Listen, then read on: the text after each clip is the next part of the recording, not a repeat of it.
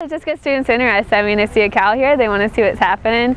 Um, they get a chance to actually touch the animal and interact with her. I mean, how many people get a chance in their lifetime to milk a cow the, anywhere? I mean, a lot of time you see animal welfare. I mean, that's a huge issue right now. So right now, we just want everybody to know that farmers really don't treat their animals this way. She comes from a working dairy farm. Um, she's part of a 200 cow herd, and she looks great. And she's already in her second lactation, and she's doing fine.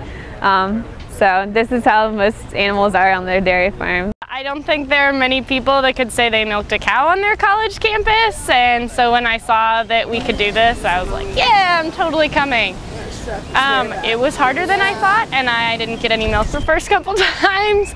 Um, it was really cool though so I don't know I'm glad I came. Uh, I just walked up and I milked the cow in the oval.